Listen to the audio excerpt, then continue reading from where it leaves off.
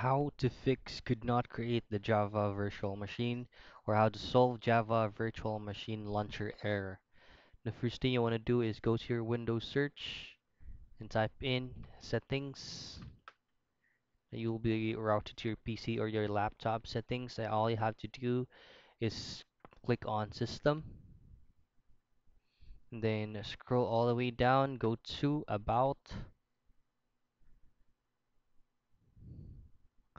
From here, go to advanced system settings. Then you will be given a pop out about your system properties. Just go to environment variables. And at the bottom part, go to new. And from here, all you have to input is these text right here. So variable name is gonna be underscore Java underscore options.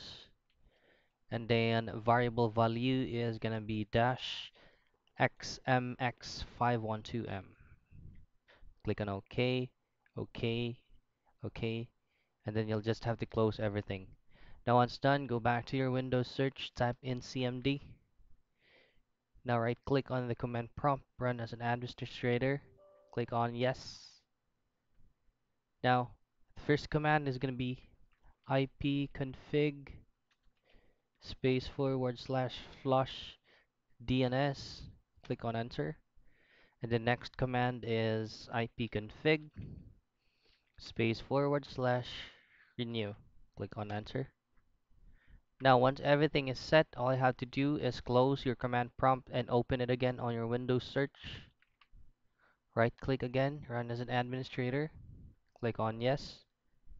And then the only command that you need to write is GPU update. Now once everything is set, you just have to restart your PC and your problem should be fixed. So that's how you fix or to solve Java Virtual Machine Launcher error.